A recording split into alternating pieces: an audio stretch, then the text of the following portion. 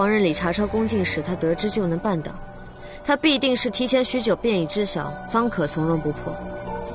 但我并没有确凿的证据。并非所有事情都需要证据。太后的反应已经说明了许多。这倒是。太后虽然想借着此事扯上燕家，但若要对付我，她犯不着如此弯弯绕绕，只可能是那一个她想保下的人。既然你有了答案，准备如何应对？我并未做什么愧对于别人的事。他既想害我，若不还以颜色，兴许他还觉得我好拿捏、好欺负。今日他既然敢让我不爽快，那往后我必定叫他坐卧不定、寝食难安才是。孤勇虽好，但若不能审时度势，便是愚钝。先别着急动手，想清楚再做才是。谢先生指点。对了，方才你站那做什么？学生蒙张大人查清内情，方能脱险，是以追去面谢。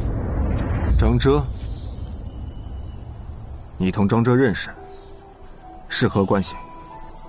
哦，没什么关系啊，我就是欣赏。欣赏？张大人素有清明，是真正的好官，也只有他肯在我遇险时仗义相助，我欣赏他，感激他。你喜欢张哲？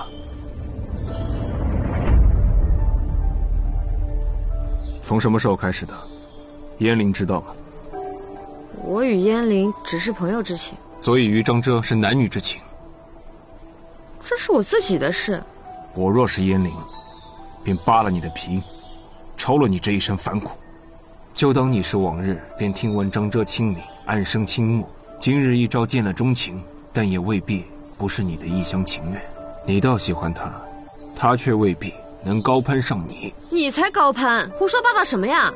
我才故意说张遮一句，你就急得跳脚，三言两语便暴露自己的弱点。是你宁儿觉得我谢薇是个善类，足以信任呢？还是你觉得世人皆善，对谁都不设防？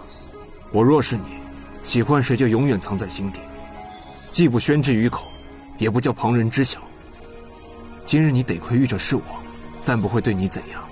倘若他日你遇到他人，想对付你、拿捏你，首先从张遮下手。届时你且看看，“害人害己”四个字，到底怎么写？